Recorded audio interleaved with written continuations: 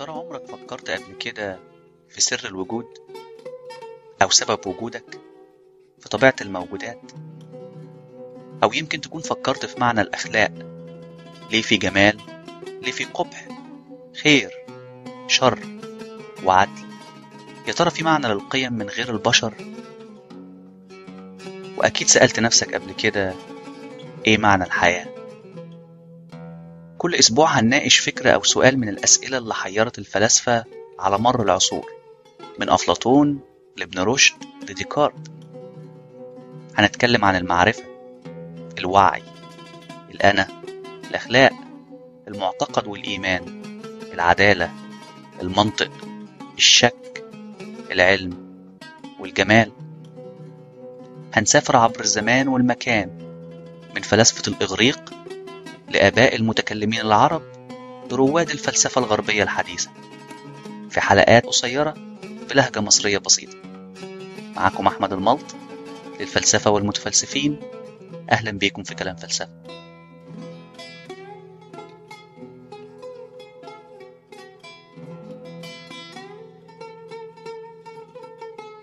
الحلقة الستين. المغالطات المنطقية. الجزء الثاني. Logical Fallacies 2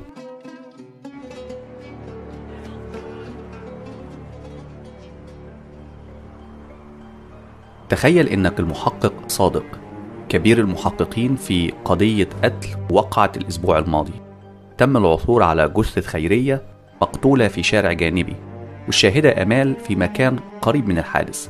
اعترفت إنها رأت محمود يطلق النار على خيرية. مساعديك في القضية المحقق عادل والمحققة أمينة. بتبدأ التحقيقات في غرفة ضيقة وإضاءتها خافتة.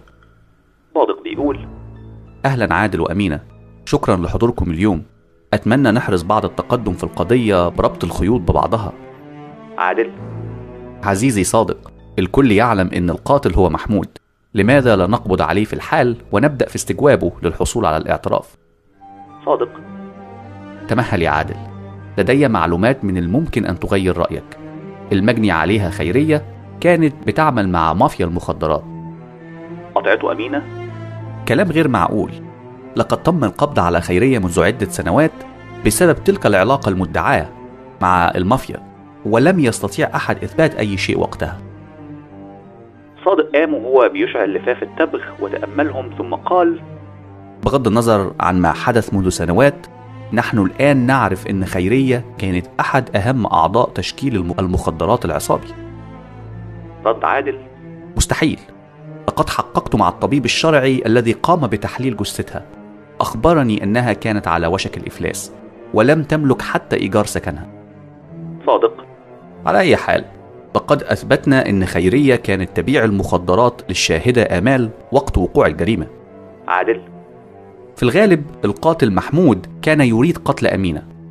صادق أرجوك دعنا نقبض عليه في الحال ونضع آمال تحت الحراسة. بعد أن انتهت أمينة من ضحكتها تفتكر المافيا ستتركنا نكشف الحقيقة ونغلق القضية بتلك السهولة؟ في الغالب أعينهم في كل مكان وينتظرون في منازلنا الآن. صادق. أعتقد أننا نقترب من المتهم لكن ليس بعد.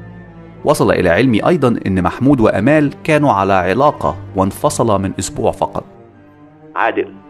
آه أرهنك أن محمود قتل خيرية كي يحمي أمال. أمينة. عادل لو لم يكن والد أمال معرفة قديمة لك لكانت وجهة نظرك اختلفت الآن خصوصا إن علمت إن محمود كان مسافر إلى دبي في تلك الليلة. عادل.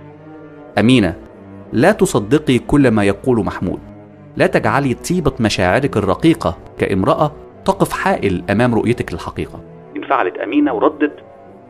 ماذا تقصد؟ أنا لا أقبل هذه الإهانة. اسحبها من فضلك. تدخل صادق سريعا. توقفا. من فضلكم. راجعا ملفات القضية ودعونا نجتمع غدا للمناقشة مرة أخرى. في صباح اليوم التالي. صادق بيقول آمال أقسمت في التحقيقات أنها رأت محمود يطلق النار على خيرية.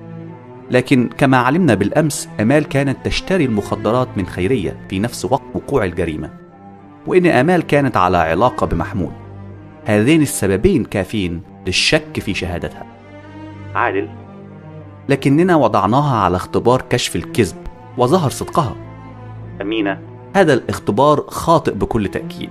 دي مدمنة. ونحن نعلم أن كل المدمنين كاذبين. قاطعها صادق. اسمعوني هل تعتقد أن آمال هي التي قتلت خيرية؟ رد عادل بسرعة. مستحيل. آمال ليست شخص عنيف بالمرة. أمينة. نعم يا صادق. أنا متأكدة أن آمال هي القاتلة. ولو فكرت قليلا أمامنا متهمين محمود وأمال. محمود كان في دبي إذا لابد إنها آمال.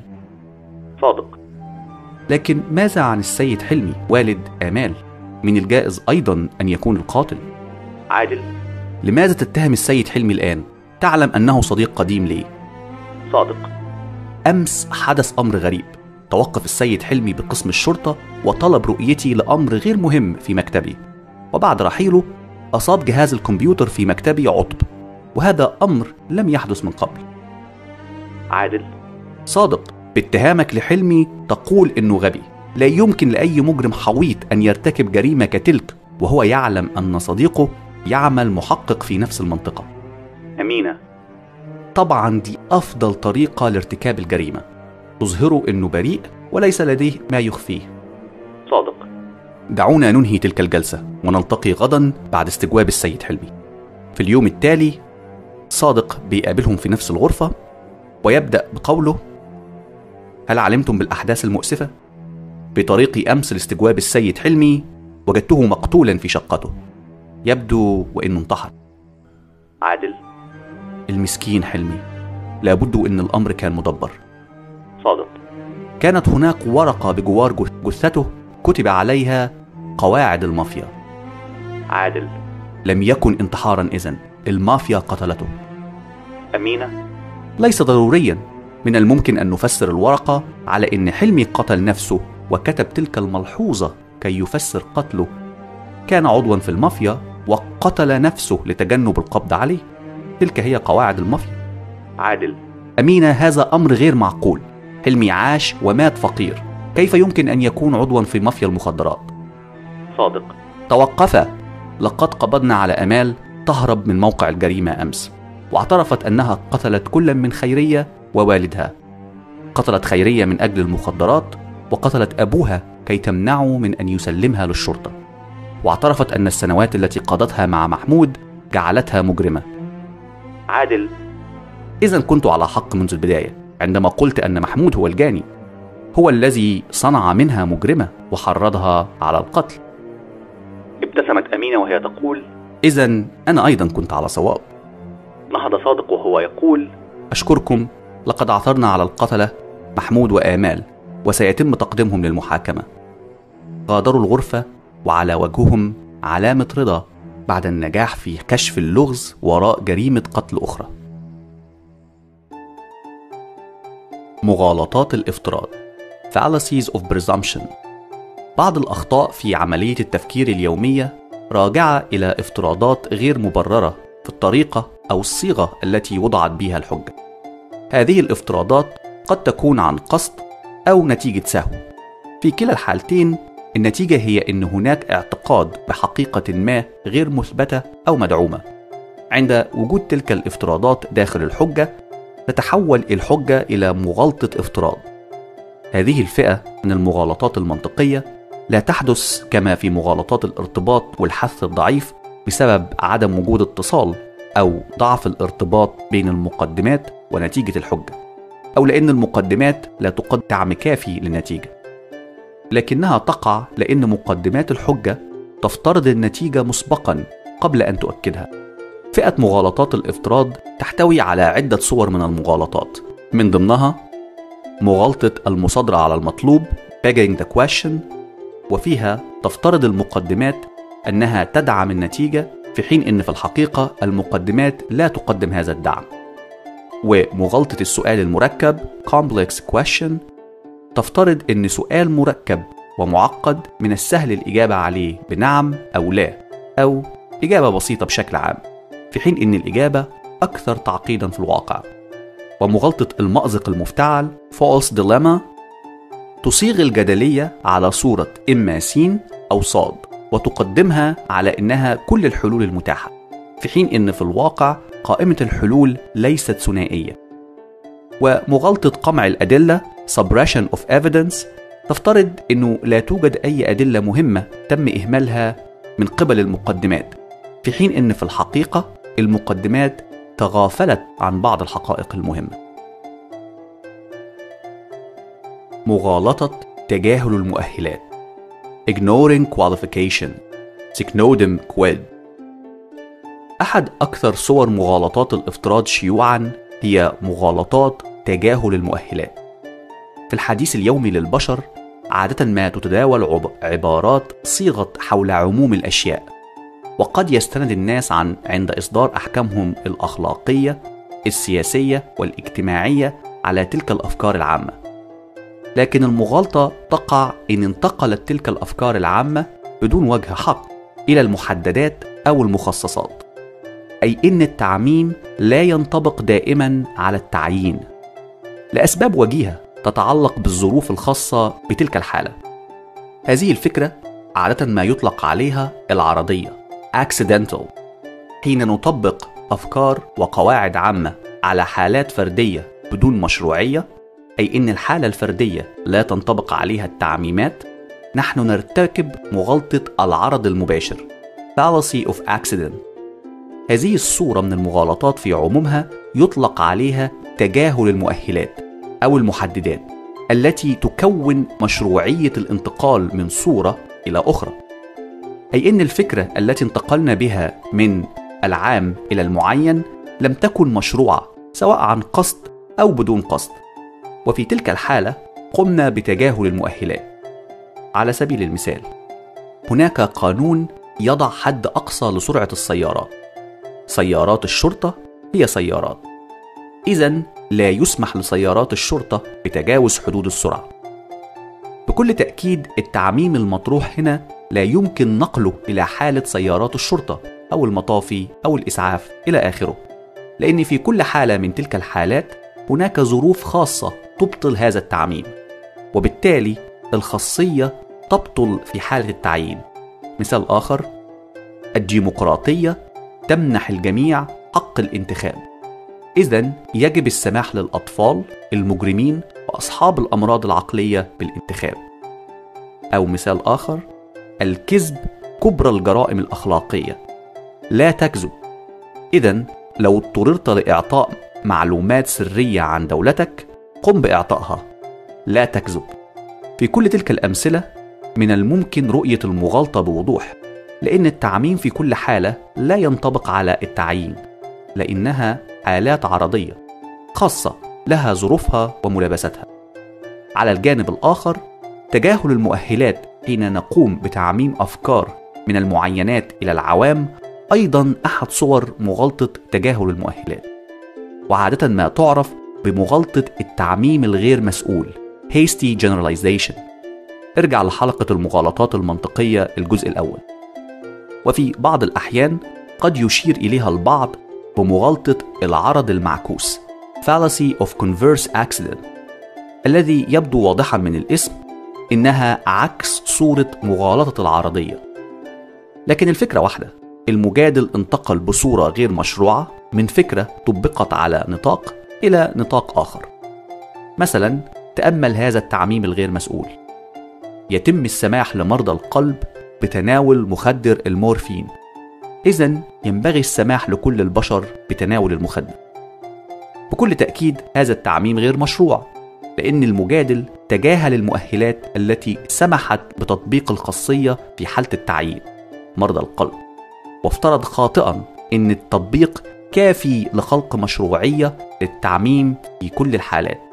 الأمر الغير مبرر وأحد صور مغالطة تجاهل المؤهلات. مغالطة المصادرة على المطلوب. Begging the question. بتتيو برانش بي المغالطة عادة ما يساء فهمها على نطاق واسع نتيجة اسمها. المصادرة على المطلوب. المغالطة تفترض حقيقة النتيجة التي تحاول إثباتها قبل أن تقوم بإثباتها. المطلوب أو السؤال في اسم المغالطة هو القضية محل الجدال أو الإثبات أي نتيجة الحجة أو الجدلية. المصادرة على تلك النتيجة أو المطلوب هو افتراض أنها حقيقية وليست محل شك أو نزاع قبل أن تطرح الحجة.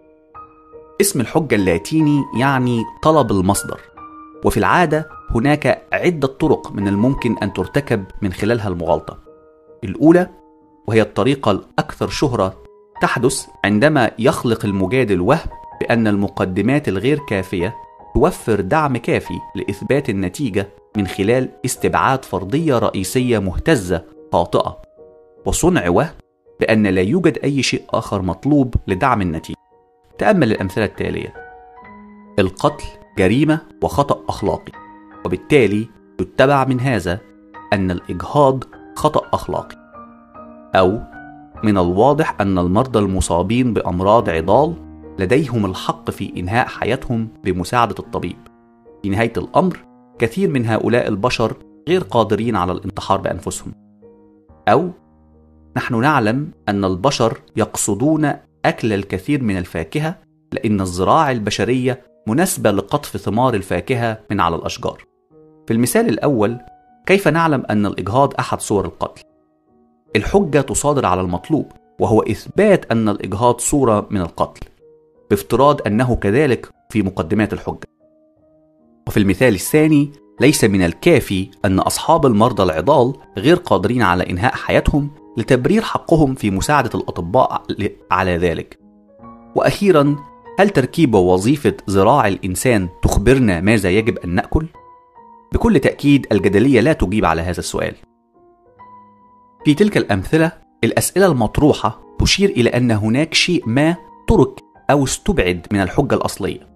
مثلا في المثال الأول هناك مقدمة مفقودة وهي الإجهاض هو أحد صور القتل. وفي مثال الزراعة الطويلة المقدمة المفقودة هي تركيب ووظيفة زراع الإنسان ترشدنا إلى كيف يجب أن يأكل الإنسان. وهكذا تلك المقدمات جوهرية لإثبات صلاحية وصحة الحجج المطروحة. لو المجادل غير قادر على إثبات حقيقة تلك الفرضيات، تصبح الحجج السابقة خاوية، لا تثبت حقيقة أي شيء. وفي الغالب عادة ما يكون هذا هو السبب وراء استبعاد تلك المقدمات في مغالطة المصادرة على المطلوب. المجادل غير قادر على إثبات حقيقة تلك الأطروحات. ويحاول استخدام عبارات وجمل خطابية مثل بالطبع بوضوح ولهذا في نهاية الأمر إلى آخره على أمل أن يخلق وهم وأن المقدمات المطروحة ستوفر الدعم الكافي للنتيجة لكنها في الواقع لا تقوم بذلك. هذا النوع من الجدال عادة ما يظهر في كثير من الحجج الدينية حول إثبات وجود الله روح خلود إلى آخره. تأمل مثلا هذا المثال. انظر حولك. الكون تظهر فيه درجة مذهلة من النظام والدقة. بكل تأكيد هذا الكون من صنع إله مصمم عاقل وذكي. هذه الصيغة من الجدال شائعة جدا عند حول إثبات وجود الله وداخل داعمي أطروحة التصميم الذكي intelligent design. لكنها في الواقع ترتكب مغالطة المصادرة على المطلوب. لأن كيف نعلم أن مظاهر النظام والدقة في الكون من الممكن أن تأتي فقط من خلال مصمم عاقل وذكي؟ ادعاء إنها أتت من خالق مصمم عاقل وذكي قد يكون صحيح لكن إثبات حقيقة هذا الادعاء يقع على عاتق طارح الحجة. بدون أدلة داعمة أو أسباب مقنعة للاعتقاد في حقيقة هذه الأطروحة تصبح الحجة خاوية لا تثبت أي شيء. الصورة الثانية من مغالطة المصادرة على المطلوب قد تحدث عندما يتم إعادة صياغة فرضية خاطئة بطريقة مختلفة كنتيجة محتملة. في تلك المغالطة المقدمات تدعم النتيجة والنتيجة تؤكد المقدمة. مثلا عقوبة الإعدام مبررة في حالة جرائم القتل لأنه من الملائم والشرعي أن يقتل شخص ما لارتكابه مثل هذه الأفعال لا انسانيه البغيضة. أو مثلا كل من يبشر بالثورات ينادي بالفوضى. لسبب بسيط هو إنه إن لم يرد الفرد الفوضى لا يمكن أن يعظ بالثورة. في المثال الأول القول بأن الإعدام مبرر هو نفس الشيء كقول أن قتل القاتل ملائم وشرعي أي إن المقدمة والنتيجة تقر بنفس الشيء. لكن بتكرار نفس الأطروحة بلغة مختلفة قليلا المجادل يحاول أن يوهمنا أن هناك دليلان مستقلان لدعم نتيجته لكن في الحقيقة لا يوجد سوى طرح واحد فقط وباقي الحجة تستخدم أدوات لغوية للتلاعب بالمتلقي الحجة صادرت على المطلوب لأن كيف نعرف إن كانت عقوبة الإعدام فعلا شرعية وملائمة؟ ما هو الدليل الداعم لتلك الأطروحة؟ وبنفس الصورة في المثال الثاني المغالطة صادرت على المطلوب لأن كيف نعلم أن المطالبين بالثورة يريدون الفوضى؟ ما هو الدليل الداعم لتلك الأطروحة؟ الصورة الثالثة التي قد تقع بها المغالطة عندما تنطوي على تفكير دائري في سلسلة من الاستدلالات تبدأ بفرضية قد تكون خاطئة وبالتالي صحة المقدمات لا يمكن البرهنة عليها دون صحة النتيجة وصحة النتيجة لا يمكن البرهنة عليها دون صحة المقدمات وهكذا في دائرة مغلقة. من الممكن وضع صورة الاستدلال الدائري circular reasoning كالآتي. واحد سين حقيقية لأن صاد حقيقية. اتنين صاد حقيقية لأن سين حقيقية. إذا المصادرة على المطلوب هنا تعتمد على تلك الدائرة المغلقة بين المقدمات والنتيجة. وبالتالي يدور البرهان في دائرة تعتمد فيها كل قضية على الأخرى دون نهاية. وقد تطول تلك الدائرة المغلقة ويصعب تتبعها نتيجة لاستخدام المجادل لأدوات لغوية وخطابية معقدة. الاستدلال الدائري يقع تحت عباءة مغالطة المصادرة على المطلوب، لأنه لا يقدم دليل مستقل عن النتيجة كي يدعم حقيقتها. أو يفشل في ربط ما هو غير معروف أو مبرهن بما هو معروف ومستدل عليه.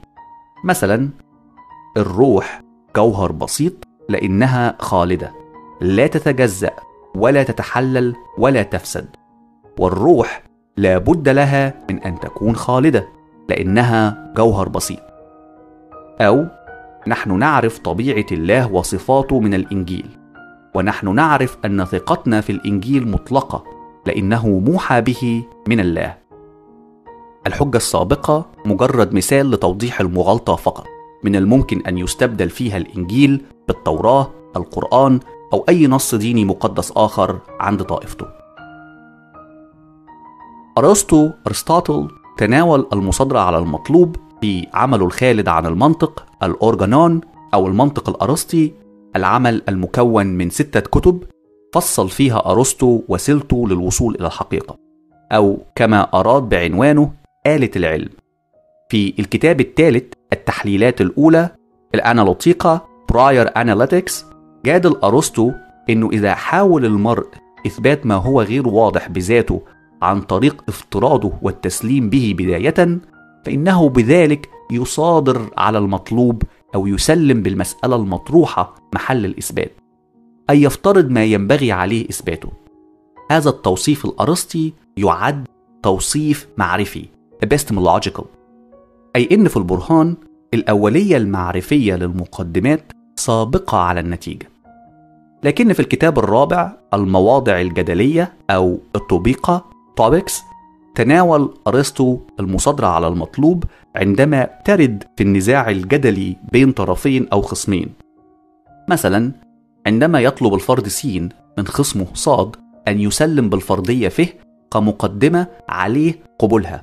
وفي الحقيقة أرسطو حدد السياق كعامل أساسي لتحديد إن كانت المصادرة على المطلوب مغالطة داخل النص.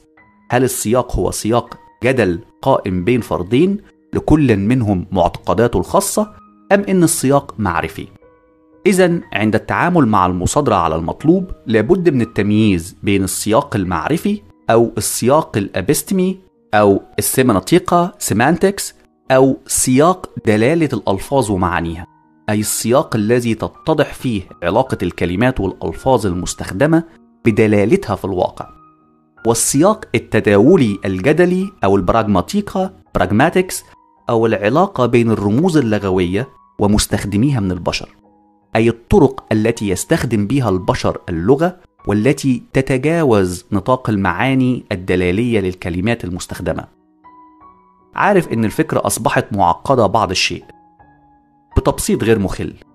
التفرقة الأساسية بين الدلالة والتداول يتوقف عليها إن كانت الحجج الدائرية مغالطة بالضرورة أم لا. وهذه التفرقة تعتمد على سياق الحوار المطروحة بداخل الحجة والالتزامات الاعتقادية عند المتحاورين. المصادرة على المطلوب تعد مغالطة إذا فشلت في تحقيق وظيفة أساسية من وظائف الحجة، وهي الوظيفة البرهانية. أي إذا لم تغير شيء في درجة ثقة المتلقي في النتيجة محل الإثبات. أي إن كانت درجة اعتقاده في النتيجة واحدة قبل وبعد الحجة. أي إن كانت الحجة تكرر النتيجة في المقدمات وتقدم هذه النتيجة إلى متلقي لا يعتقد أصلا في تلك النتيجة ولا يلتزم بها. فإنها عندئذ لا تؤدي وظيفتها البرهانية، وتحت هذا السياق تعد مغالطة. أما إن قدمت النتيجة كجزء من المقدمات إلى متلقي يعتقد في النتيجة مسبقا ويلتزم بها في هذا السياق التداولي لا تعد مغالطة. السبب إني بحاول توضيح تلك الفكرة إنها شائعة كثيرا في الجدال حول المعتقدات الدينية. مثلا دكتور عادل مصطفى في كتابه المغالطات المنطقية فصول في المنطق الغير صوري طرح هذه الصورة التخيلية عن حوار دار بين فرد مؤمن وآخر غير مؤمن. المؤمن بيقول: سيظل القرآن الكريم إلى يوم القيامة محفوظا من كل التصحيح والتحريف. الغير مؤمن ما الدليل على ذلك؟ المؤمن الدليل أن الله يقول في القرآن: إنا نحن نزلنا الذكر وإنا له لحافظون. هذه الجدلية تحتوي على مغالطة المصادرة على المطلوب، لأن المتلقي ليس لديه أي التزام عقائدي بالقرآن، وبالتالي الدليل المطروح لا يضمن لديه أن يبقى القرآن محفوظ بما فيه. ووقعت المغالطة من خلال الاستدلال الدائري في تلك الحالة. لكن لو استخدمت تلك الحجة بنفس الصورة في سياق تداولي آخر بين داعية مؤمن ومتلقي أيضا مؤمن ولديه التزام اعتقادي بالقرآن مثلا في خطبة صلاة الجمعة في تلك الحالة قامت الحجة بوظيفتها البرهانية وتكون حجة صائبة ولا تشبه مغالطة المصادرة على المطلوب لأن المتلقي لديه التزامات اعتقادية سابقة بالقرآن وبالتالي النتيجة المستخدمة في المقدمة تعد جزء من البرهان. ظهور النتيجة في المقدمة أمر مقبول لأنها فعلا أمر مصدق بالنسبة للمتلقي. إذا نخلص من هذا إن يقع على عاتق المجادل أن يدرك هوية المتلقي والتزاماته الاعتقادية المبدئية وأن يتجنب تأييد المذهب من داخله أي يصادر على المطلوب. هذه صورة لحجة قامت بالمصادرة على المطلوب في حالة وكانت صحيحة في حالة أخرى حسب السياق التداولي الذي طرحت فيه. وبالتالي تصبح المصادرة على المطلوب هي مغالطة تداولية بالأساس.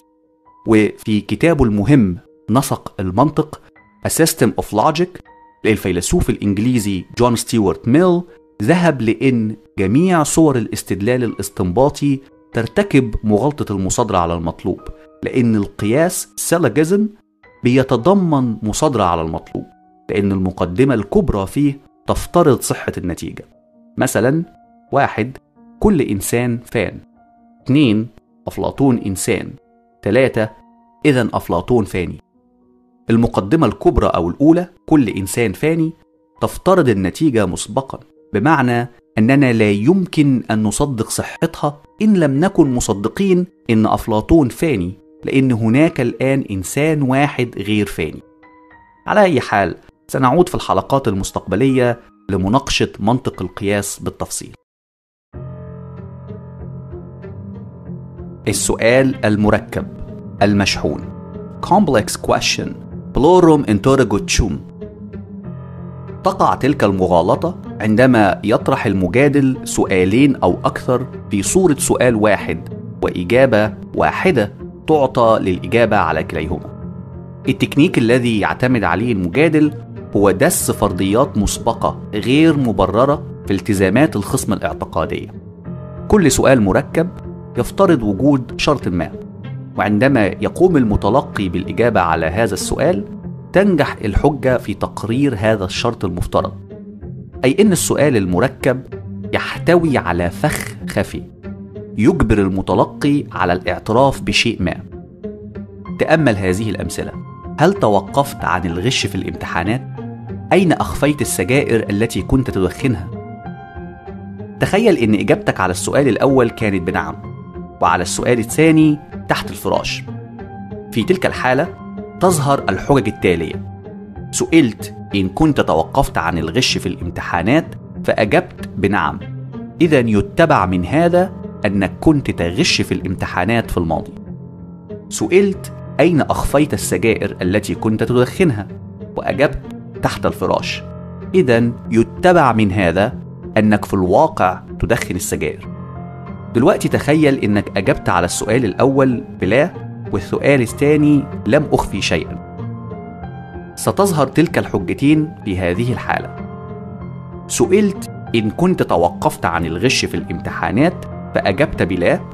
إذا يتبع من هذا أنك ستستمر في الغش في الامتحانات. سئلت أين أخفيت السجائر التي كنت تدخنها وأجبت لم أخفي شيئا إذا يتبع من هذا أنك دخنتها بالكامل إذا من الواضح أن في كل من هذين المثالين هناك سؤالين هل غشيت في الامتحانات في الماضي؟ إن كانت إجابتك بنعم هل توقفت عن الغش الآن؟ هل كنت تدخن السجائر؟ ولو كانت إجابتك بنعم أين أخفيتها؟ إن لم يدرك المتلقي الفخ في هذا السؤال المركب وجاوب ببراءة قدم على نفسه اعتراف ووقع في فخ الاعتراف بشيء لم يقدم عليه دليل بالمرة. التعامل الذكي في تلك الحالة مع هذا النوع من المغالطات هو تحليل السؤال المركب إلى الأسئلة المكون منها والإجابة عنها بشكل مستقل. المحققين ورجال الشرطة يستخدمون هذه المغالطة المنطقية كفخ للإيقاع بالمتهم للاعتراف بفعلته. مثلا أين أخفيت جسم الجريمة؟ ما الذي دفعك لتزوير تلك الوثيقة؟ في تلك الحالة يفرق المنطقيين بين هذه النوعية من الأسئلة ويطلقوا عليها الأسئلة الاستدراجية leading questions. الفيلسوف الأمريكي المعاصر جون سيرل في كتابه البديع الوعي واللغة Conscious and Language اللي نشره سنة 2002 ذهب إلى إنه يجب تحليل السؤال الفلسفي المطروح تحليل دقيق قبل محاولة الإجابة عليه أو عرض وجهات النظر الفلسفية التي قد يتناولها السؤال. لابد من فحص السؤال وتحليل عناصره اولا وتحديد الافتراضات بداخله. لا تسلم بالأسئلة حلل السؤال قبل أن تجيب عليه.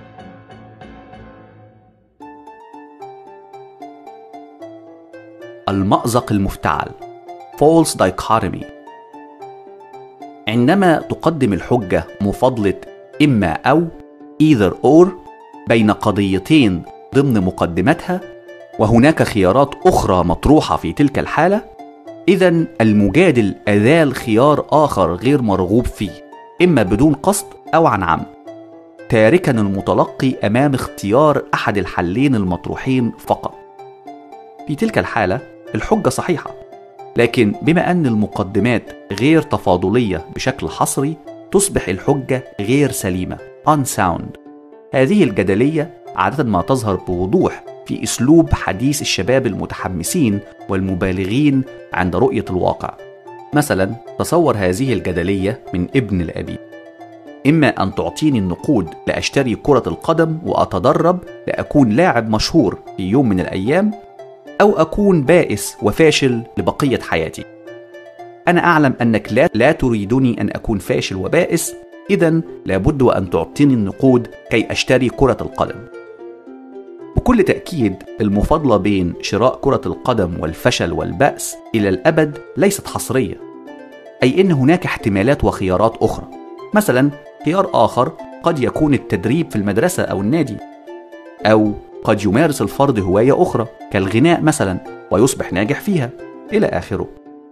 الطبيعة المغالطة للمأزق المفتعل تكمن في خلق وهم أن الخيارين المطروحين في المقدمة هما الاختيارين الوحيدين ولا بد من اختيار أحدهما. ومن هنا المغالطة تجعل إن بعض المقدمات تبدو صحيحة أو على الأقل محتملة بشكل خاطئ. لكن المغالطة لا تقع إن كان أحد الخيارات المطروحة صحيح بشكل قاطع أي بما لا يدع مجال للشك. مثلا واحد القاهرة تقع إما في قارة أفريقيا أو قارة آسيا. 2 القاهرة لا تقع في قارة آسيا. 3 إذا القاهرة تقع في قارة أفريقيا. هذه الحجة صحيحة وسليمة لأن أحد مقدماتها صحيحة بما لا يدع مجال للشك بالرغم من أن هناك خيارات أخرى قد تطرح في المقدمة. الأدلة المكبوتة. Suppressed Evidence. الحجج الاستدلالية مقنعة طالما كان تركيبها المنطقي سليم ومقدماتها حقيقية وصحيحة. لكن المقدمات حقيقية فقط إن كانت تقدم دليل على حقيقتها ولا تتجنب أي أدلة أخرى مهمة قد تشير إلى حقيقة أخرى. لو تجنبت الحجة الاستدلالية دليل ينطبق عليه هذا المعنى في تلك الحالة يقال أن الحجة ارتكبت مغالطة الأدلة المكبوتة أي أخفت دليل مهم يشير إلى حقيقة مخالفة للأدلة. تأمل المثال التالي. أسماك القرش قاتلة. من فصيلة الأسماك المفترسة. لديها القدرة على افتراس كائنات بحرية أخرى في لحظات مثل كلب البحر. وبالتالي تشكل خطرا كبيرا على البشر ولا بد التخلص منها. المجادل في تلك الحجة تجنب حقيقة مهمة جدا وهي أن معدلات حالات مهاجمة أسماك القرش سنويا للبشر قليلة جدا. مثلا 16 حالة سنويا في الولايات المتحدة مقارنة ب 30 ل 50 حالة سنويا تهاجم فيها الكلاب البشر. ومعدل حالة وفاة واحدة كل سنتين قد ينتج عن أسماك القرش. وبالتالي خطورة التعرض لهجوم من أسماك القرش قليلة جدا ولا تقدم استدلال كافي قوي في تلك الحجة على النتيجة وهي إنها تشكل خطورة كبيرة على البشر وبالتالي لابد التخلص منها. هذه المغالطة تصنف كأحد صور مغالطات الافتراض لأنها تعمل على المتلقي فقط من خلال خلق افتراض وهو أن المقدمات صحيحة وكاملة. أحد أكثر الصور شيوعا من مغالطة الأدلة المكبوتة عادة ما يحدث في الإعلانات والدعاية. تقريبا كل إعلان يتجنب ذكر الآثار والخواص السلبية للمنتج المعلن عنه. وكنتيجة المتلقي للدعاية يبني نتيجة خاطئة لاعتقاده إن المادة الإعلانية قدمت له الحقيقة كاملة. مثلا بعض الإعلانات قد تدعي إن الطعام لا يمكن طهيه بدون السمن البلدي. لكن هذا الإعلان تجنب ذكر مخاطر السمن البلدي مثل زيادة معدلات الكوليسترول في الدم وانسداد الشرايين التاجية وغيرها من الأمراض الخطيرة التي حتى وإن كان الطعام فعلا أفضل عند طهيه بالسمن البلدي لا يكفي هذا لتبرير المخاطر التي قد تنتج عنه. وبالتالي ليس من العقلاني إخفاء تلك المعلومات عند محاولة إقناع المشاهد بشراء المنتج. أحد الصور الشائعة أيضا للمغالطة عادة ما يظهر في الحملات الانتخابية وتنافس بين مرشحين. أحد الطرق التي قد يستخدمها مرشح هو مهاجمة المرشح الآخر من خلال ذكر مساوئه والأفعال التي قام بها وقد تكون سببت مشاكل في الماضي لكنه يتجنب ذكر سياساته وقراراته الجيدة ويبني على هذا نتيجة أنه هو المرشح الذي يجب أن يختاره الناخبون. مثلا السادة والسيدات الأفاضل. السيد سين دعم سياسات أدت إلى فشل المنظومة الصحية والتأمينات وتوصياته بشأن الميزانية زادت من العجز في ميزان المدفوعات. ناهيكم عن سياساته الخارجية التي زعزعت الاستقرار في المنطقة. لذا أعطوني أصواتكم. مرشحكم الأفضل لهذا المنصب. ما قد يكون قد غفل عن ذكر المتحدث مثلا والنجاحات المتكررة للسيد سين أو إنه هو نفسه أقل كفاءة من السيد سين للمنصب وإن توصياته وقراراته بخصوص نفس القضايا قد تكون أسوأ. لأن عند ذكر هذه الحقائق في تلك الحالة يصبح السيد سين هو الاختيار الأمثل للمنصب وبالتالي قام المتحدث بارتكاب مغالطة الأدلة المكبوتة كي يقود المتلقي إلى النتيجة التي يسعى هو إليها صورة أخرى لمغالطة الأدلة المكبوتة هو تجاهل أحداث مهمة تجعل نتيجة الحجة الاستدلالية غير معقولة. مثلا في أحد المناظرات في الانتخابات الرئاسية في الولايات المتحدة بين المرشح الرئاسي ميت رامني والرئيس الأمريكي وقتها باراك أوباما ميت رامني جادل الجيش الأمريكي لديه عدد أقل من البوارج وبنادق M1 ومدافع هاوتزر مما امتلكه الجيش سنة 1940 وبالتالي فإن القوة القتالية للجيش الأمريكي أقل فاعلية اليوم مما كانت عليه عام 1940 الحجة تجاهلت حقيقة أن البوارج وبنادق M1 ومدافع هاوتزر أصبحت تكنولوجيا قتالية عفى عليها الزمن. وتم استبدالها بسفن أحدث وأكثر كفاءة ومدافع أكثر قدرة وبالتالي النتيجة غير حقيقية. أحد الصور الأخرى التي قد يتم فيها كتم الأدلة هو اقتطاع النصوص من سياقها بإخفاء بعض الحقائق عن المتلقي وبالتالي الترويج لحقيقة استدلالية من المقدمات الناقصة. على أي حال مغالطة الأدلة المكبوتة تشبه كثيرا مغالطة المصادرة على المطلوب لأن المجادل يترك مقدمة أساسية من الحجة. الفارق أن مغالطة الأدلة المكبوتة تترك فرضية تقود إلى نتيجة مخالفة لنتيجة الحجة. في حين أن مغالطة المصادرة على المطلوب تترك فرضية مطلوبة لدعم النتيجة المثبتة في الحجة. لكن لأن المغالطتين تترك أحد المقدمات من الحجة في بعض الأحيان قد يصعب التفريق بينهما دون التدقيق.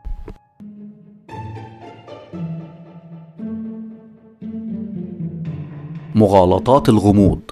Fallacies of ambiguity. معاني الكلمات والجمل قد تتغير وتتلون داخل الجدليات سواء بدون قصد أو عن عمد. مصطلح ما قد يظهر بصورة ما في مقدمات الحجة لكنه يستخدم بصورة مختلفة أو ليعني شيء آخر في نتيجة الحجة. وفي تلك الحالة الإستنباط أو الاستنتاج في الحجة يكون خاطئ لأن المقدمات قصدت شيء مختلف عن النتيجة. هذه الفئة من المغالطات تعرف بمغالطات الغموض fallacies of ambiguity أو قد يطلق عليها البعض السوفسطائيات sophisms. الاستخدام المتعمد لهذا النوع من المغالطات عادة يكون من السهل التعرف عليه. لكن عندما تحدث تلك المغالطات بدون قصد يصبح من الصعب التعرف عليها. سواء نتيجة أخطاء لغوية تركيبية قواعدية أو منطقية. سنستعرض عدة صور من مغالطات الغموض. الاشتراك اللفظي equivocation. تحدث مغالطة الاشتراك اللفظي عندما تكون نتيجة الحجة تعتمد على حقيقة أن كل... أن كلمة أن كلمة أو عبارة ما استخدمت بصورتين مختلفتين داخل الحجة سواء بشكل ظاهر أو ضمني. هذا الأمر راجع لأن كثير من الألفاظ اللغوية مشتركة equivocal أي أن لها أكثر من معنى واحد وبعضها له نطاق واسع من المعاني. حجة الإسلام أبو حامد الغزالي أشار في الجزء الأول من كتابه المستصفى إلى الألفاظ المشتركة كالآتي. وأما الألفاظ المشتركة فهي الأسامي التي تنطبق على مسميات مختلفة. لا تشترك في الحد والحقيقة البتة.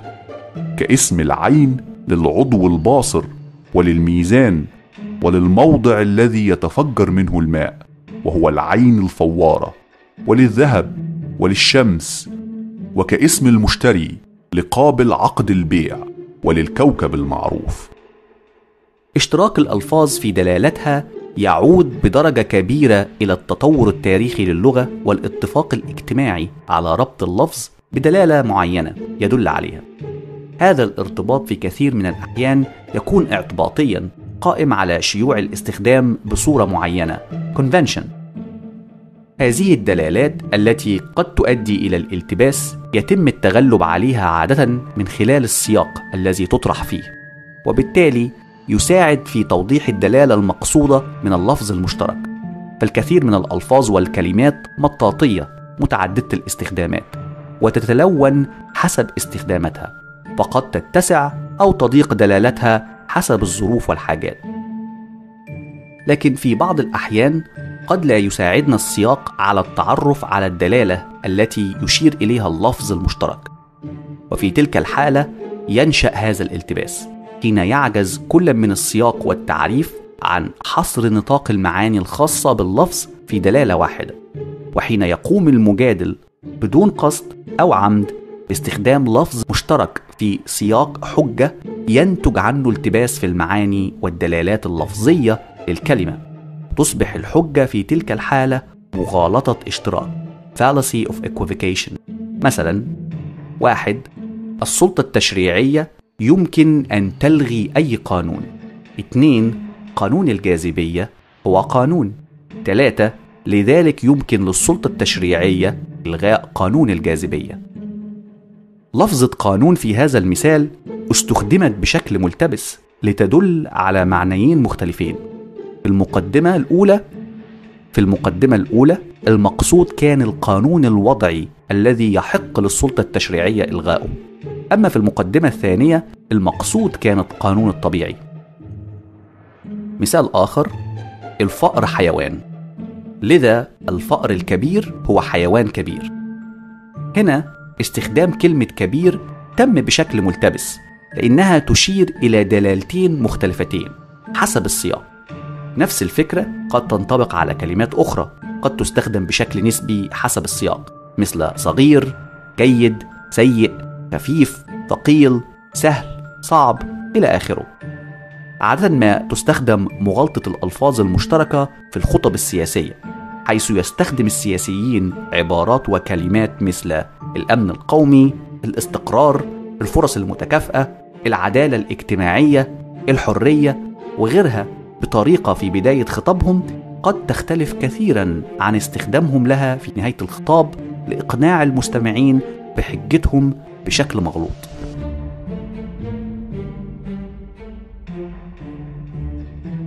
التشابه اشتراك التركيب أمفابلي عادة ما تحدث مغالطة التشابه عندما يسيء المجادل فهم جملة مشتبهة أو غامضة ويبني على فهمه الخاطئ نتيجة الحجة.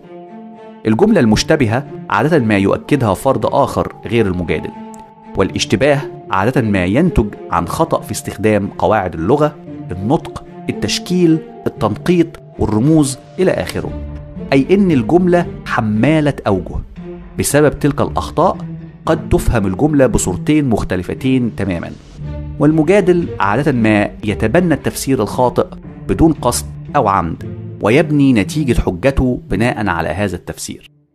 في الواقع منذ بداية التاريخ الإنساني والمنجمين العرافين والكهنة كانوا أبرع من استخدم مغالطة الاشتباه ووضعوا تنبؤاتهم في صيغ ملتبسة ومتشابهة يمكن تفسيرها على عدة أوجه بحيث تحقق لهم التملص من أي حقيقة يمكن أن تكذب تنبؤاتهم.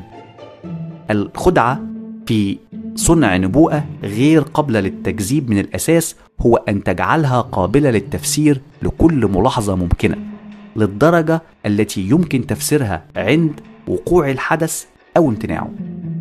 أي أن مهما آلت الأمور إليه سيمكن تأويل النبوءة بصورة أو أخرى. المؤرخ اليوناني القديم هيرودوت روى أن الملك كريوسيوس ملك ليديا أخذ مشورة كاهنة الوحي في دلفي قبل الخروج للمعركة ضد سايرس ملك فارس.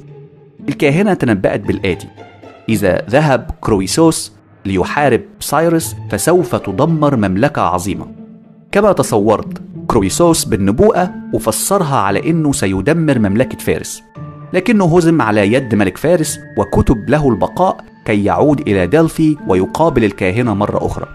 التي ردت أن النبوءة كانت صادقة فقد دمرت مملكته هو بالذهاب إلى الحرب.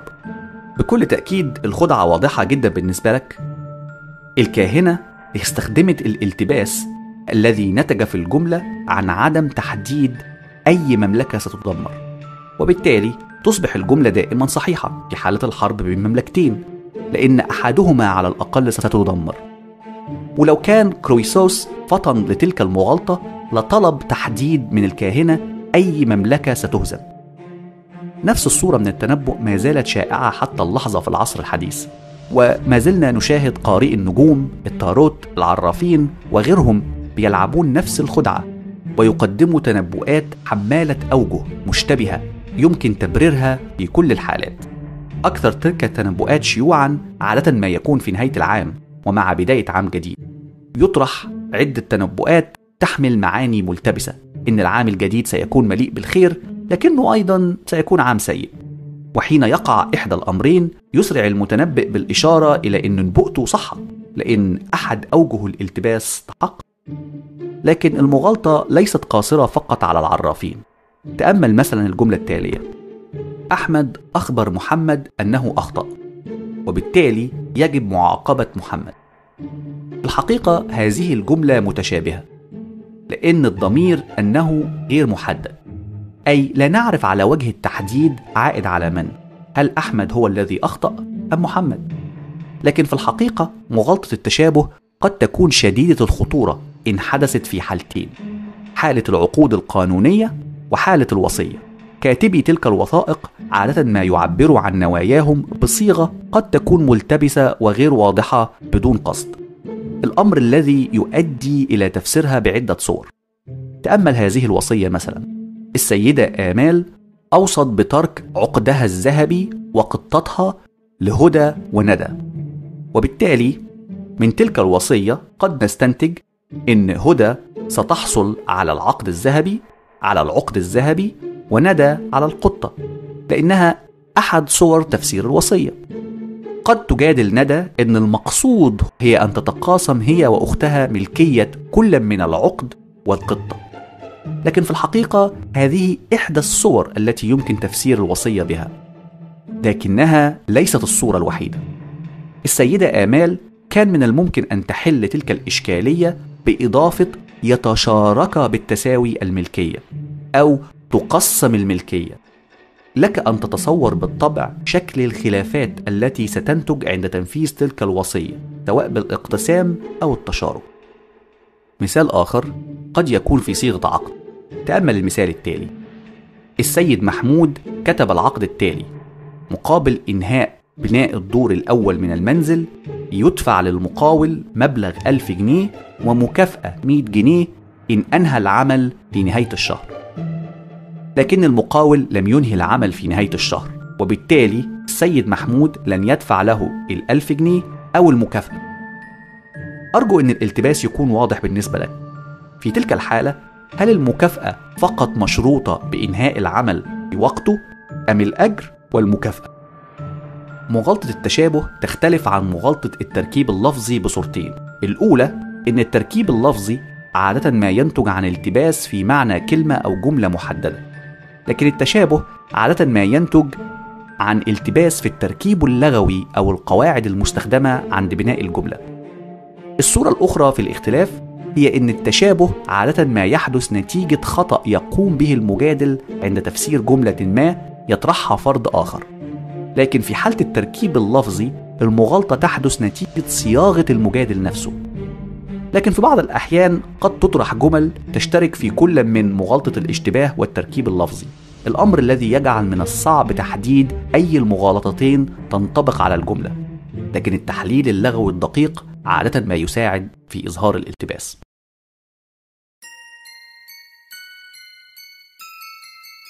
النبر accent. الغموض قد ينتج في بعض الأحيان عن استخدام اللفظ بمعاني متعددة داخل الحجة الواحدة لكن التغير عادة ما ينتج عن التأكيد أو النبرة المستخدمة لإظهار كلمة أو جملة محددة داخل الجدلية. عندما تعتمد مقدمات الحجة على تأكيد ما داخلها لكن النتيجة يستدل عليها بتأكيد نفس الكلمة بصورة مختلفة في تلك الحالة مغالطة النبر ارتكبت. الفكرة قد تبدو بسيطة لكنها شديدة الخطورة وفي كثير من الأحيان تجعل التعرف على المغالطة أمر عسير. هناك عدة صور من النبر.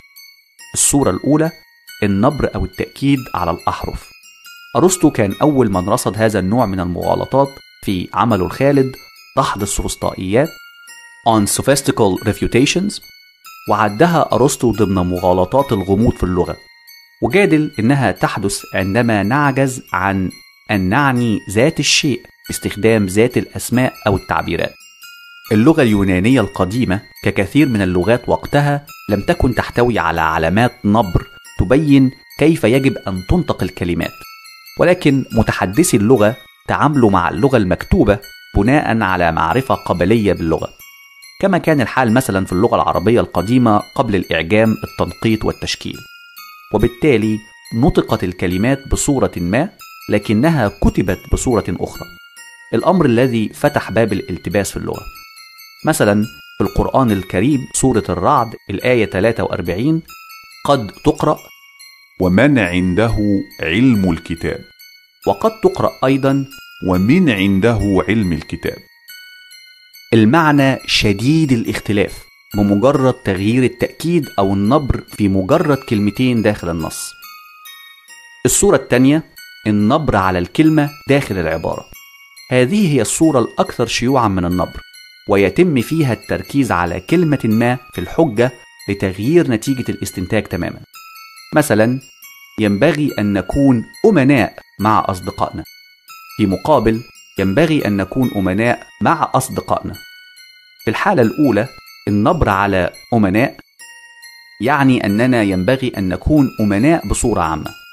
أما في الحالة الثانية الأمر يبدو اختياريا أي أننا ملزمين بالأمانة مع الأصدقاء فقط. الصورة الثالثة الاجتزاء وهي الاقتباسات المنتزعة من السياق.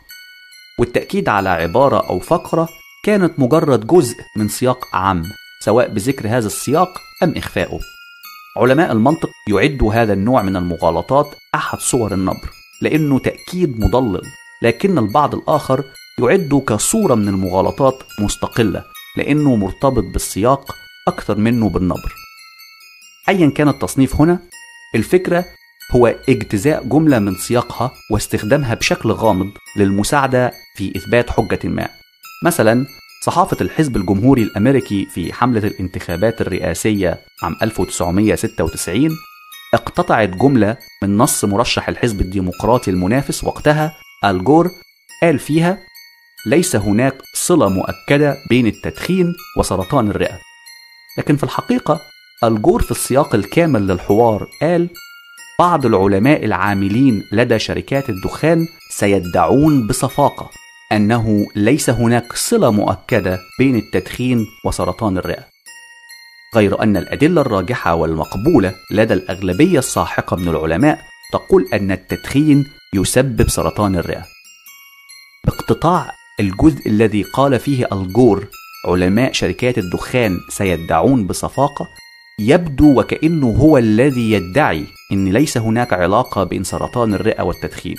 الأمر غير حقيقي بالمرة على النقيض. الجور كان من المهاجمين لشركات الدخان وعلاقتها بسبب قناعته إن منتجاتها وراء ازدياد سرطان الرئة في الولايات المتحدة الأمريكية. مغالطة التكوين. Composition. مغالطة التكوين تحدث عندما تعتمد نتيجة الحجة على تحول خاطئ لأحد خصائص وسمات أجزاء الشيء كي تعمم على الكل. بصورة أخرى. عندما يحاول المجادل إثبات بما أن أحد أجزاء الشيء له خاصية معينة يتبع هذا أن الشيء ككل له نفس الخاصية أيضا. وفي تلك الحالة هذه الخاصية لا يمكن تعميمها من الجزء إلى الكل. تأمل الأمثلة التالية. كل لاعبين فريق كرة القدم الوطني ممتازين وبالتالي الفريق ككل ممتاز. كل ذرة في هذا القلم لا يمكن رؤيتها بالعين المجردة وبالتالي القلم كله غير مرئي. الصوديوم والكلورين المركبات الذرية للملح مواد كيميائية سامة وبالتالي الملح مادة سامة. في كل تلك الحجج المجادل يحاول نقل خاصية تنطبق على الجزء إلى الكل خاصية الامتياز، المجهرية، السامية إلى آخره. لكن في كل حالة من تلك الحالات هذا الانتقال من خاصية الجزء إلى الكل انتقال خاطئ وبالتالي تصبح الحجة مغالطة. لكن طبعا ليس كل انتقال من الجزء إلى الكل دائما خاطئ تأمل الجمل التالية. كل ذرة في القلم لها كتلة وبالتالي القلم ككل له كتلة. كل سلك في هذا السياج لونه أبيض وبالتالي السياج ككل لونه أبيض. في كلا الحالتين خاصية كتلة الذرات تنتقل من الجزء إلى الكل وكذلك خاصية اللون في حالة السياج تنتقل من الجزء إلى الكل. بكل تأكيد حقيقة أن الذرات لها كتلة أمر يعمم على الأشياء ونفس الأمر ينطبق على خاصية اللون. وبالتالي فإن قبول هذه الحجج ينسب على الأقل جزئيا إلى النقل المشروع لسمة من الجزء إلى الكل. اكتشاف المغالطة يعتمد على فهمها والتدقيق في الجملة. اكتشاف إن المجادل يحاول الانتقال بخاصية من الجزء إلى الكل. لكن بالإضافة لهذا هناك معرفة عامة لابد أن تتوفر لدينا عن طبيعة الخواص التي يريد المجادل نقلها. كي نستطيع أن نحدد كان هذا الانتقال مشروع أم لا. أيضا لابد من تجنب خلط المغالطة مع مغالطة التعميم الغير مسؤول. Hasty generalization. هذا الخلط يحدث فقط في حالة إن الكل فئة معينة. مثلا فئة سكان مدينة القاهرة.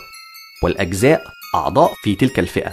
في تلك الحالة مغالطة التكوين تنتج من إن الجزء عضو في الفئة. لكن التعميم الغير مسؤول على الجانب الآخر يحدث نتيجة الانتقال من المحدد إلى العام. لأن من السهل أن نخطئ في فهم أن الجملة عن فئة معينة إن كانت جملة تعميم أم جملة خاصية تكوين. يمكن تجنب مثل هذا الخطأ إذا كان المرء حريص على مراعاة التمييز بين هذين النوعين من العبارات. تأمل الجملتين. البراغيث صغيرة. البراغيث كثيرة. الجملة الأولى هي صورة عامة خاصية صغر الحجم نتيجة للتنبؤ التوزيعي. Distributive prediction أي إن تم توزيع الخاصية من أفراد الجماعة إلى الكل لأن كل برغوث صغير الحجم وفئة البراغيث ككل صغيرة الحجم. على الجانب الآخر الجملة الثانية هي جملة حول الفئة ككل أي جملة فئوية خاصية كثرة العدد نتيجة للتنبؤ الجماعي. Collective prediction أي إن الخاصية لا تنطبق على كل عضو أو برغوث في الجماعة لكن لفئة البراغيث ككل. معنى الجملة ليس إن كل برغوث كثير العدد لكن فئة البراغيث ككل كثيرة العدد. عارف إن الكلام قد يبدو غامض بعض الشيء. سأطرح عليك طريقة عملية للتفريق بين مغالطة التكوين ومغالطة التعميم الغير مسؤول. ابدأ بتحليل نتيجة الحجة. لو كانت النتيجة جملة عامة أو جملة تكوين أي أنها خاصية تم التنبؤ بها بناء على مجموع وجود نفس الخاصية عند كل أفراد الجماعة إن لم تصح النتيجة في هذه الحالة تصبح مغالطة تكوين. أما لو كانت جملة النتيجة جملة فئوية أي إن الجملة تم التنبؤ بها على الفئة ككل ولا تنطبق على كل فرد داخل الفئة أو الجماعة إن لم تصح في تلك الحالة تصبح مغالطة تعميم غير مسؤول. مثلا تستهلك السيارة وقودا أقل مما تستهلكه سيارة إطفاء الحرائق. لذلك تستهلك السيارات في دولة مصر وقود أقل من سيارات الإطفاء. للوهلة الأولى قد يبدو أن تلك الحجة تنتقل من المحدد إلى العام وبالتالي ارتكبت مغالطة تعميم غير مسؤول. لكن في الحقيقة لو دققت النظر واتبعت الطريقة التي وصفتها لك منذ قليل ستجد أن نتيجة الحجة تقر أن فئة السيارات ككل تستهلك وقود أقل من فئة كل سيارات الإطفاء بناء على انتقال خاصية من الجزء إلى الكل وهي أن السيارة العادية تستهلك وقود أقل من سيارة الإطفاء. لكن في الواقع هذا الانتقال خاطئ لأن هناك عدد أكبر في فئة السيارات العادية من عدد السيارات في فئة الإطفاء. وبالتالي بما أن النتيجة قامت بناء على تنبؤ جماعي ارتكبت الحجة مغالطة التكوين.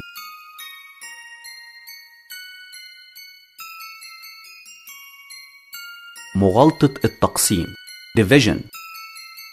مغالطة التقسيم هي الصورة المغايرة من مغالطة التكوين.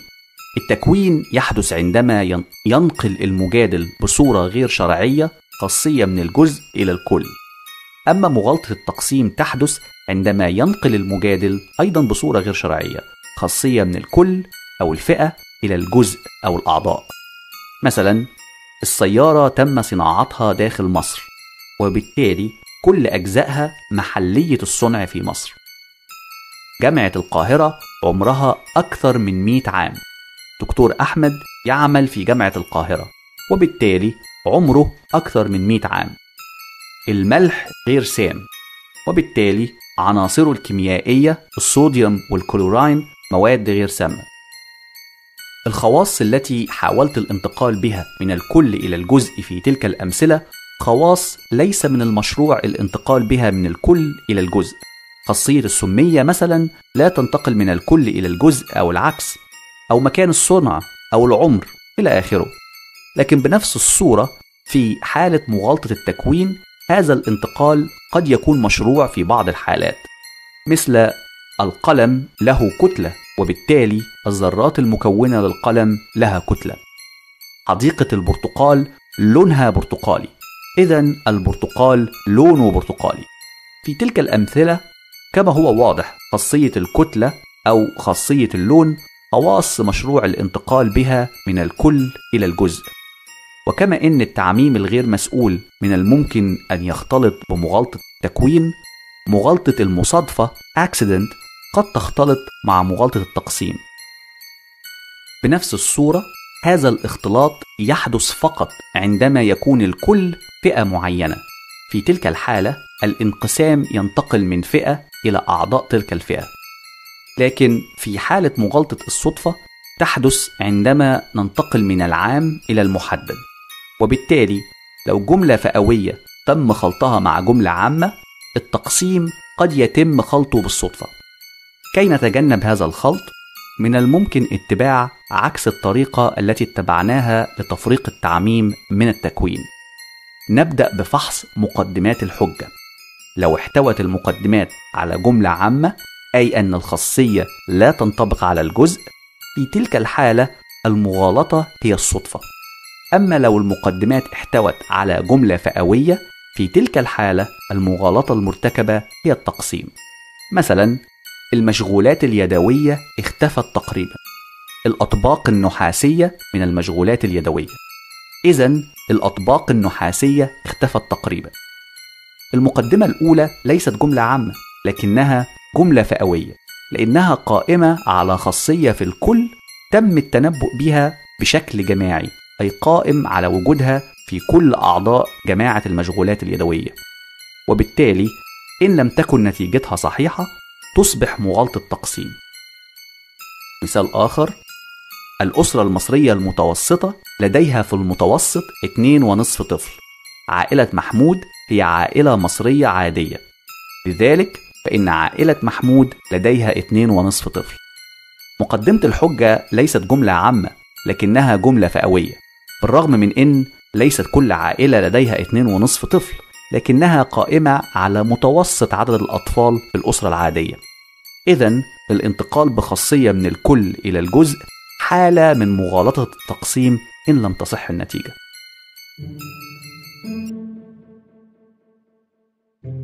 اصطياد المغالطات. Hunting Fallacies. خلال مناقشتنا معظم المغالطات الغير رسمية التي تعرضنا لها مباشرة يسهل التعرف عليها بقليل من الممارسة والتمرين. لكن عندما تحدث المغالطات في الاستخدام اليومي والحوارات العادية بين الأفراد التي في كثير من الأحيان لا يكون القصد منها إثبات أو نفي فكرة معينة لكن مجرد تبادل الآراء أو قتل الوقت يكون من العسير التعرف على المغالطات لأنها لا تكون في صورتها القياسية أو لأن قد لا ينطبق على الخطأ أي صورة من صور المغالطات القياسية. وفي بعض الأحيان ينطبق على المغالطة أكثر من صورة من المغالطات وخيوط المنطق والترابط داخل الكلام قد تتشابك وتحتاج إلى فكها أولا قبل تحليلها. بل وأحيانا قد لا يكتمل قالب المغالطة بالمرة أو حتى لا يكون هناك اتصال واضح بين المقدمات والنتائج. الصور التي قد يغالط بها المجادل عديدة ومتنوعة وتحتاج لكثير من الممارسة العملية كي تستطيع اصطيادها في حديث الآخرين. في حديث عابر منذ عدة سنوات مع أحد جيراني في ولاية فرجينيا الأمريكية طرح عدد من الحجج والآراء الشخصية حول موقفه من عمل المرأة. فكرة المساواة ودخول المرأة في كافة مجالات الحياة الأمريكية. للأسف لا أتذكر التفاصيل كاملة للحوار لكن عند قراءة هذا الخطاب المنشور في أحد الصحف الأمريكية في باب آراء القراء أعادتني الكلمات لهذا الحوار بسبب تشابه وجهة النظر وأسلوب الطرح. تأمل نص الخطاب. يا إلهي سئمت من حقوق المرأة. لكل مرة نطالع الأخبار نسمع عن شكل من أشكال التمييز ضد بعض النساء المساكين اللاتي يرغبن في أن يصبحن شرطيين إطفاء حريق أو بعض الملاحظات التي توحي أو تشير إلى أن النساء أقل شأنا من الرجال أنا على سبيل المثال لا أريد أن يتم إنقاذي من قبل إطفاء حريق امرأة خاصة إن كنت رجل طوله ستة أقدام والمرأة طولها خمس أقدام لماذا تجد النساء دورهم في الحياة مهينا إلى هذه الدرجة؟ ما هو الخطأ في كونك زوجة وأم والبقاء في المنزل بينما يخرج الذكر ويبحث عن الطعام ويعيد إلى عائلته؟ لا أعتقد أن المرأة أثبتت أنها مبدعة أو قادرة في المتوسط على القيادة العالمية أو لديها نفس القدرات الجسدية أو الشجاعة مثل الرجال في المتوسط معظم السيدات الأمريكيات لم يخوضوا حربا عالمية كبرى بعد أسأل السيدات من منكم يريد ذلك؟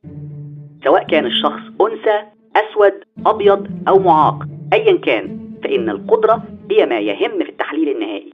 لا يمكن للمرأة أن تطالب بالمساواة. لا يمكن لأحد ما لم يتم اكتسابه لتلك الحقوق طبقا لقدراته. عندما تقع المصائب تكون الفتاة في محنة. فهي تتعرض لضغوط شديدة لحماية نفسها وعادة ما يجب إنقاذها من قبل رجل أحتاج الرجل حتى أتمكن من تحريك بيانو أو التغلب على سارق أو مغتصب محتمل أو خوض الحرب. أشعر بالرضا تماما كوني امرأة. شكرا لك. توقيع بتراشا كيلي. ما تستغربش. فعلا نص الخطاب كتبته امرأة وليس رجل.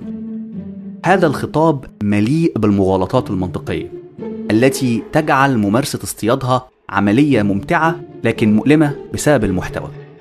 مثلا عندما قالت النساء المساكين اللائي يرغبن في أن يصبحن شرطيين إطفاء حريق. هي أحد صور الشخصنة المسيئة. ومساواة حقوق المرأة بشكل عام مع فكرة الحق في أن تكون شرطي إطفاء حريق هي صورة من مغالطة رجل القش. وفي الجملة التالية عليها افترضت الكاتبة إن مهنة شرطي إطفاء الحرائق لابد أن تشتمل على تسلق المباني وإنقاذ الأفراد. صورة أخرى من مغالطة رجل القش. لأن بكل تأكيد هناك العديد من رجال الإطفاء لا يقومون بتلك الأعمال. وفي نفس الجملة هناك مصادرة على المطلوب من الممكن تفسيرها كالآتي. هل النساء اللاتي رغبن أن يكونوا شرطيين إطفاء حرائق يريدون إنقاذ الرجال الطوال؟ وأيضا المصادرة على المطلوب في افتراض أن مهمة جمع الطعام محصورة فقط على الرجال هل نحصر أنفسنا في التركيب الاجتماعي القائم منذ الإنسان الأول؟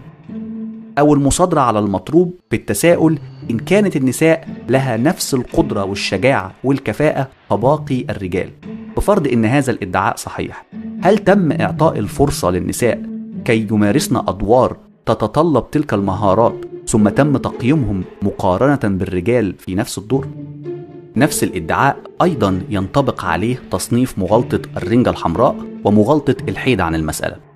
في الواقع معظم الأعمال لا تتطلب قدر كبير من تلك المهارات وكثير من الرجال ليس لديه هذه الدرجة العالية من المهارات وما زالوا يؤدون تلك الوظائف.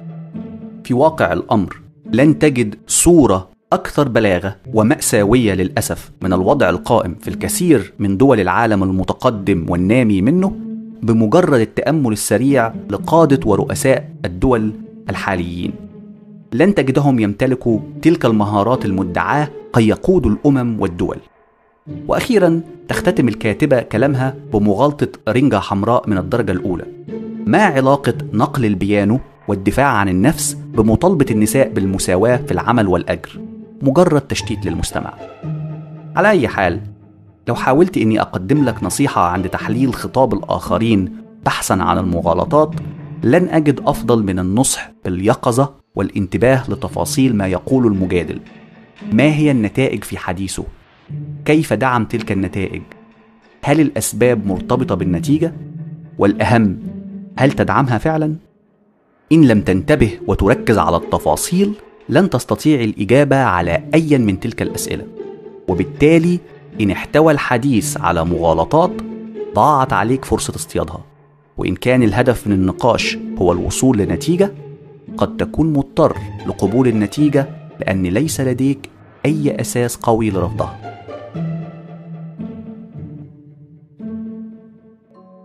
المغالطة هي خطأ في التفكير يقوم المنطقيين برصدها بطرق رسمية وأخرى غير رسمية.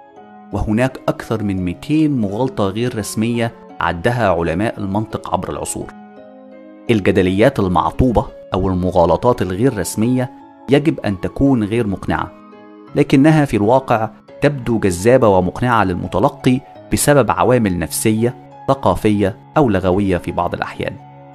المغالطات الرسمية عادة ما تقع بسبب خطأ في المحتوى الصياغة أو الهيكل المنطقي. على العكس من المغالطات الرسمية التي تقع فقط بسبب خطأ في الهيكل المنطقي. كما أشرنا في الحلقة السابقة هناك خلاف كبير داخل رواقات علم المنطق حول التصنيف الأمثل للمغالطات. تسمية المغالطات أهمية بعض المغالطات مقارنة بالأخرى ويختلف الباحثون حول وضع تعريف مصطلح المغالطة نفسه ونظرية موحدة للتعرف على المغالطات. وما هي الشروط الكافية والضرورية في نظرية موحدة للمغالطات. مشاريع بحثية كبيرة قد تفرد لها حلقات كاملة من كلام فلسفة ومادة خصبة للدارسين والمتخصصين للبحث والتناول. على أي حال أرسطو كان أول من قدم تقسيم للمغالطات بشكل موثق في عمله المهم دحض السوفسطائيات On Sophistical Refutations الذي رصد فيه 13 نوع من المغالطات وبدأ فرع جديد داخل علم المنطق الذي نما في العصور الوسطى وأصبح محل دراسة رسمية في الغرب بعد الخروج من عصور الظلام. وترجع أهمية تصنيف المغالطات وتسميتها إلى الفكرة البديهية حول فاعلية طرق الاتصال البشري. إن اتفق البشر حول اسم صورة أو قالب متكرر من الأخطاء في المنطق تكون الطريقة فعالة جدا في النقاش واصطياد الأخطاء المنطقية بهدف الوصول للحقيقة. لكن ليست هذه هي الفكرة الوحيدة حول اعتناق تسمية وتصنيف للمغالطات. لكن أيضا جادل البعض إن دراسة تسمية وتصنيف المغالطات يساعد أيضا في تجنب الأفراد الوقوع في فخ استخدام تلك المغالطات عند صياغة الحجج والجدليات. عالم اللغويات والعالم النفسي الكندي المعاصر ستيفن بنكر طرح الفكرة ببلاغة في كتابه البديع أشياء الفكر اللغة كنافذة لطبيعة الإنسان The Stuff of Thought Language at the Window into Human Nature اللي نشره سنة 2005 وأنصحك بقراءته في أقرب فرصة. وقال إذا كانت اللغة توفر تسمية لمفهوم معقد فقد يسهل ذلك التفكير في المفهوم. لأن العقل يمكن التعامل معها كحزمة واحدة عند التعامل مع مجموعة من الأفكار بدلا من الاضطرار إلى الاحتفاظ بكل مكونات هذا المفهوم بشكل منفصل. يمكن أيضا أن يمنح المفهوم تسمية إضافية في الذاكرة طويلة المدى مما يجعله قابلا للقراءة بسهولة أكبر من المفاهيم غير الفعالة. أو تلك التي تحتوي على أوصاف لفظية أكثر تقاطعا. على أي حال التعرف على المغالطات المنطقية تسميتها وتصنيفها هو أحد اللبنات الأساسية لعملية التفكير النقدي critical thinking التي تمكن المرء من الاقتراب بأقصى درجة ممكنة من جوهر وحقيقة الواقع. والتفكير النقدي في أفضل صور معرفتنا الإنسانية الحالية ليس عملية جينية أو بيولوجية أو على الأقل لا توجد لدينا معرفة مؤكدة حول هذا الأمر بعد. بل هو مهارة تكتسب بالممارسة والتطبيق المستمر وفي غياب التفكير النقدي يصبح الفرد مجرد رقم يضاف إلى الجموع تتناقله موجات الأفكار يستجيب لها بشكل أعمى دون تحليل أو تدقيق. بناء عقلية نقدية علمية عملية ليست بالسهلة ولا يوجد لها كتالوج محدد يمكن اتباعه لكنها عملية من المحاولات المتكررة من النجاح والفشل. في جوهرها الممارسة والتطبيق البحث والتعلم الدائم الانفصال عن الذات والابتعاد عن التحيزات الرغبات والمعتقدات الشخصية عند تحليل الآراء. الشك الصحي واعتناق أدوات مستقرة للبحث عن الحقيقة نقد الافتراضات تحليل الحجج والجدليات ودائما وابدا تحصيل العلم واكتساب المعرفة الصحيحة هي جوهر التفكير النقدي والعلمي السليم. أو كما أجمل المنطقي الرياضي والفيلسوف الإنجليزي برتراند راسل في كتابه الرائع حول رحلة تحوله الفلسفي الذي نشره سنة 1959 بعنوان تطوري الفلسفي My Philosophical Development وقال المنطق والرياضيات هما أبجدية كتاب الطبيعة وليس الكتاب نفسه. Logic and mathematics are the alphabet of the book of nature, not the book itself. القصة اللي بدأنا بيها مقتبسة بتصرف عن كتاب التفكير النقدي Critical Thinking لأستاذة الفلسفة الأمريكية المعاصرة شارون كاي. من خلال القصة حاولت أقدم لك مادة خصبة لحوار دار بين مجموعة من الأفراد تصلح لاصطياد المغالطات المنطقية. النقاش كان مليء بالمغالطات الغير رسمية التي تعرضنا لها على مدار حلقتين. على سبيل المثال لما جادل عادل إن محمود هو القاتل والكل يعلم هذا هذه إحدى صور مغالطات التوسل بالكثرة. وعندما أصرت أمينة إن خيرية ليست عضو في مافيا المخدرات لأننا لم نثبت هذا في الماضي هي إحدى صور مغالطة التوسل بالجهل عادل طرح جدلية غريبة إنه استجوب الطبيب الشرعي الذي أخبره إن المجني عليها لم تكن تمتلك نقود حتى لدفع الإيجار لماذا يجب الاعتداد بشهادة طبيب حول حالة المجني عليها المادية؟ هذه إحدى صور مغالطة التوسل بالمرجعية الغير مؤهلة. السجال الذي دار بين عادل وأمينة حول صداقته القديمة بالسيد حلمي والد أمال هو صورة من صور مغالطة الرنجة الحمراء تشتيت عن جوهر الموضوع. ومهاجمة عادل لأمينة واتهامها بأنها ساذجة لأنها صدقت ادعاء محمود بأنه كان مسافر وقت وقوع الجريمة هو أحد صور الشخصنة المسيئة. حجة أمينة إن كل المدمنين كاذبين صورة من التعميم الغير مسؤول. ودفاع عادل عن آمال بأنها ليست المجرمة لأنها شخص غير عنيف هو مصادرة على المطلوب وصورة من الجدال الدائري. وعندما جدلت أمينة إن القاتل إما محمود أو أمال هو صورة قياسية على المأزق المفتعل أو مغالطة إما أو. لأن قد يكون هناك متهمين آخرين محتملين.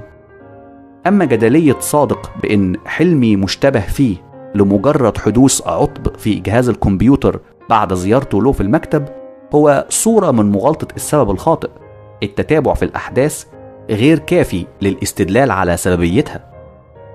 التفسير المختلف لكل من عادل وأمينة لملاحظة المافيا هي إحدى صور الاشتراك اللفظي. وأخيرا حجة عادل إن حلمي لم يكن غنيا والمافيا مؤسسة غنية هو مغالطة تقسيم انتقال غير مشروع بخاصية من الكل إلى الأجزاء أعد الاستماع للحوار مرة أخرى في ضوء رؤيتك للمغالطات المنطقية ودلوقتي فكر في الحوارات اللي بتشترك فيها يوميا هل تتسم عادة بالمنطق والعقلانية؟ ولا تنتشر بين طياتها المغالطات المنطقية؟ هل هناك قيمة لدراسة المغالطات المنطقية وتصنيفاتها؟ وهل الخلاف القائم بين المنطقيين أو لتصنيف المغالطات حائل ضد استخدامها؟ وهل التفكير النقدي هو فعلا طوق النجاة الوحيد للوصول للحقيقة؟ فكر تاني الحلقة الجاية سنعود مرة أخرى للبحث في أسس وقواعد المنطق الرسمي ومدارسه. عن القياس المنطقي. منطق القضايا. التحويل والإنقلاب. مخططات فين الصور القياسية. هنتفلسف المرة الجاية. من دلوقتي الحلقة الجاية عيش الحياة بفلسفة.